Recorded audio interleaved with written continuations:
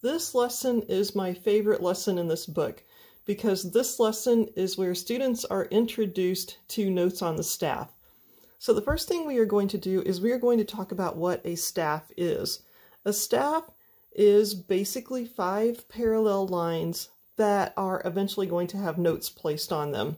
So when we're reading these lines, we have lines and we have spaces. And we always count them from the bottom up. So we have space 1, space 2, space 3, and space 4. And for the lines, we have 1, 2, 3, 4, and 5. The way that we read music is we find notes on these lines or spaces, and that tells us what key to play on the piano. It's like the secret code, and that's what we're going to be learning for the rest of the book, basically. So the important thing to do when you are reading music is to be able to quickly tell whether a note is a line note or a space note. And we'll do some work with that in a little bit. But first of all, I want to look down at the bottom of this page. This shows you which hand is going to be playing notes on which staff. So this right here is called a grand staff.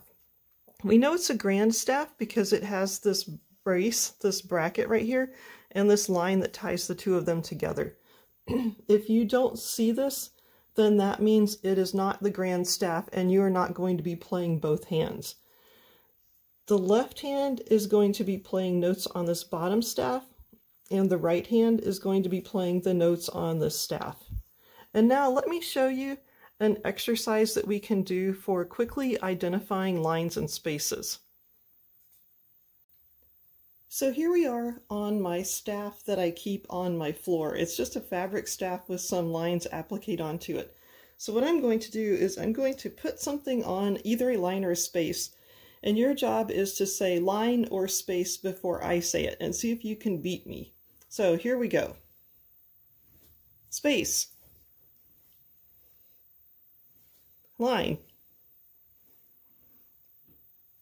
Line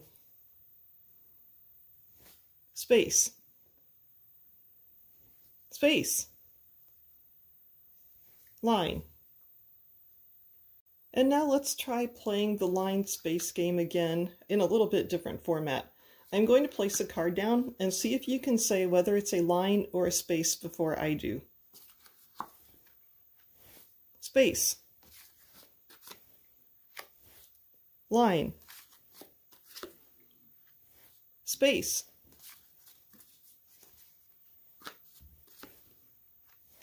Space,